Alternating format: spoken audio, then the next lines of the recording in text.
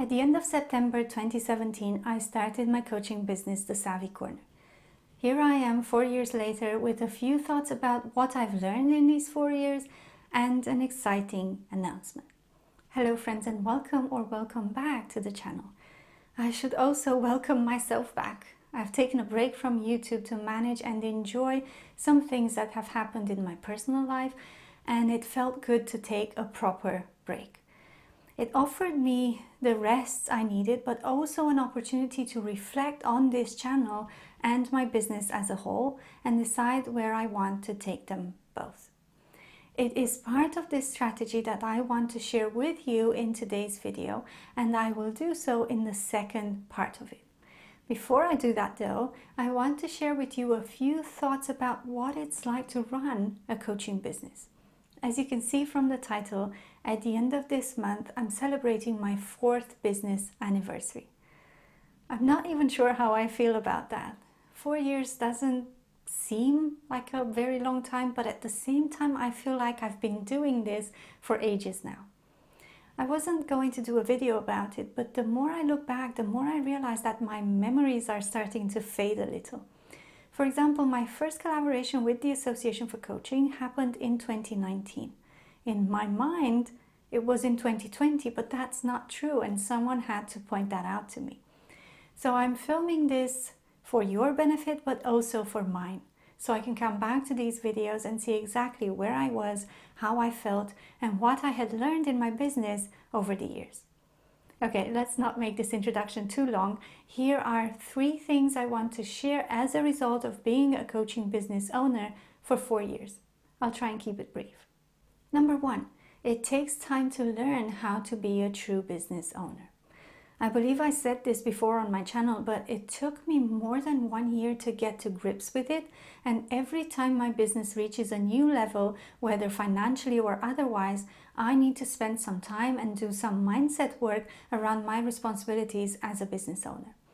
That mostly includes strategic thinking and making important decisions that will affect the future of my business. Number two, your goals and aspirations will change, and as a consequence, so will your business. If you've been following me for a while, you know that about 18 months ago, I changed the focus of my business and now I don't do personal finance coaching anymore, but I work with coaches to help them build financially viable coaching businesses. This business change came as a result of my own preferences and aspirations as a coach and as a professional. If that is happening to you too, don't fight it like I did. This change would have happened a lot sooner if I didn't fight against it for so long. If your intuition is telling you something needs to change, listen to it and see if there are reasonable steps that you can take to make this change. I'm not encouraging you to go after every shiny object that comes your way. I am talking about fundamental changes here that will have a huge impact on your business, like a change of business model or a complete change of your coaching niche and target market. I was so hung up on my plan and reaching some milestones I had set for myself in 2017 that I forgot to take a coaching approach and listen to the voice within. So keep an open mind and always tap into your inner wisdom. Speaking of wisdom, I don't remember where I first read this phrase, but it stuck with me. It says something like this Everything you have ever wanted is on the other side of fear. And this is so powerful and so true. I've been working a lot more on my spiritual side in the last 18 months, and I got to realize how debilitating negative emotions can be and opportunity thieves. It's the fear of being rejected that prevents us from even asking. It's the fear of looking ridiculous that stops us from trying, the fear of making a mistake that keeps us still. I learned to be a lot more open about feeling negative emotion, being with that emotion, realizing that it won't kill me, and then releasing my need, the need of my ego to have everything be perfect. As a result of that, I've gotten so many great opportunities, and I also feel much more at ease with where my business is, where it's going, and the pace of my progress. Of course, there is still so much to be learned, and I don't pretend to be the finished product. In fact, I will never be, and that's okay. I'm okay with a lifetime of learning and discovering, and that is actually one of the things that I enjoy the most about business life. Yes, learning can be uncomfortable, but the end result is worth more than avoiding the discomfort, for me at least. Okay, those were the three things I wanted to share on my fourth business anniversary. Now let's move on to the announcement I was talking about at the beginning of the video.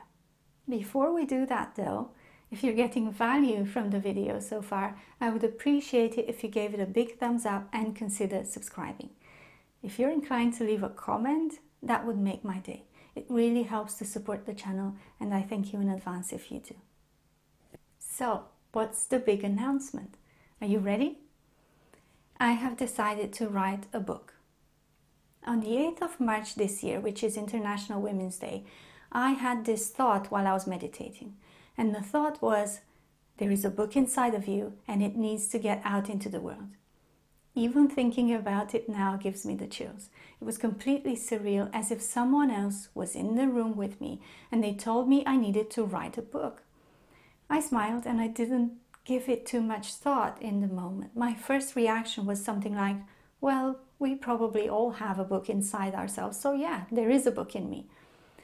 But in the weeks and months after I had this voice telling me to write a book, all I could see around me was book related.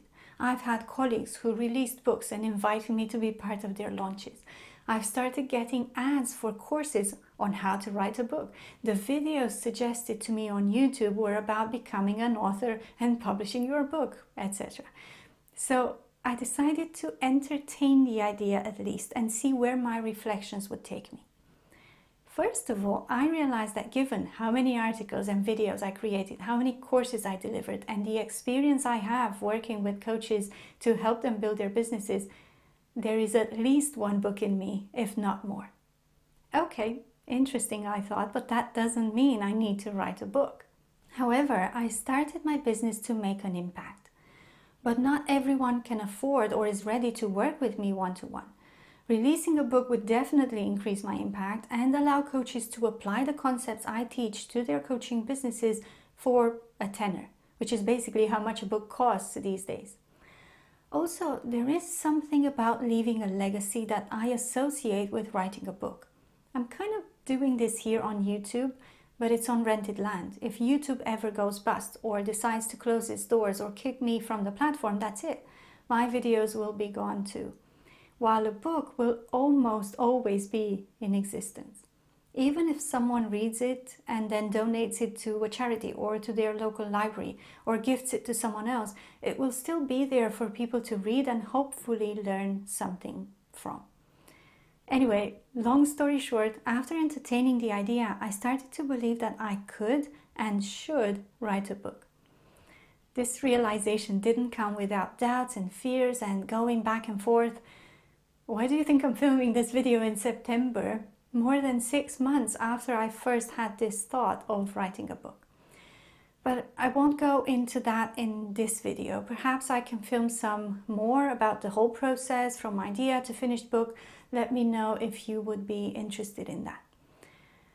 So, I decided to write a book on the subject of building a coaching business. Let's talk a little bit about the logistics of it. I've given myself a deadline of the 27th of September 2022, and by that time I should have the book written and published. I want to give myself an entire year for the process, one, because I don't want to overwhelm myself, and two, because I want to take my time and write an awesome book.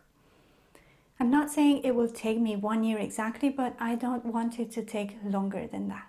Also, September 2022 marks my fifth business anniversary, and I think it would be so cool to have a book published before I hit that milestone. At the moment, I'm considering self publishing, but I'm not discounting the idea of a hybrid publishing model. We'll see. That is something for me to think about in more detail later on. For now, though, the priority is actually writing the book. And the way I intend to do that is by allocating two hours each day, four times a week, for writing and researching. That is eight hours a week, and I'll do that until I have the first draft ready. After that, I'll spend some time editing it myself before I get a professional editor involved. Then I'll need to worry about the cover, the blurb, and other related things, but I want to take it one step at a time. If you want me to film some videos with my progress, the different stages of writing a book, and the things that I'm learning in the process, please let me know and I would be happy to do it and to share what I am learning in this process. So there it is, my big exciting announcement uh, on my fourth business anniversary.